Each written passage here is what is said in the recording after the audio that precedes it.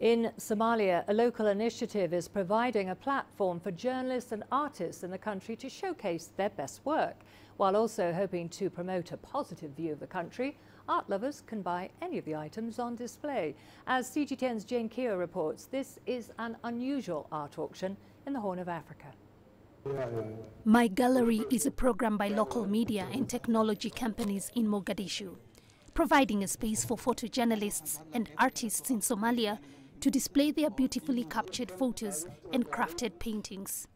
The main purpose uh, of this in program, My Gallery, in, is to encourage the photojournalists and to show the outside world and what's happening, truly happening in Somalia, in, and uh, to focus on more positive stories, and at the same time to, to reward the photographers in what they have done.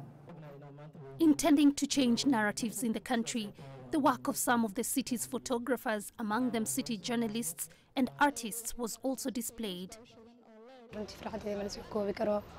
I am grateful to be part of this event where one of my photos was showcased. I am actually a doctor by profession, but it's heartwarming to see your work presented in front of hundreds of people. That is great encouragement. And out of them, the winners were chosen.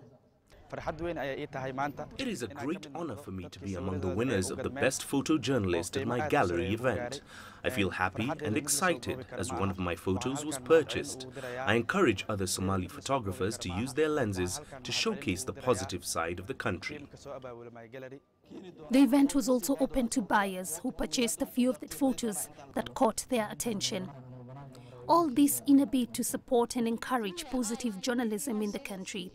The organizers hope to make this an annual event, showcasing the most appealing photos and paintings from all over the country. Jane Kiyo, CGTN.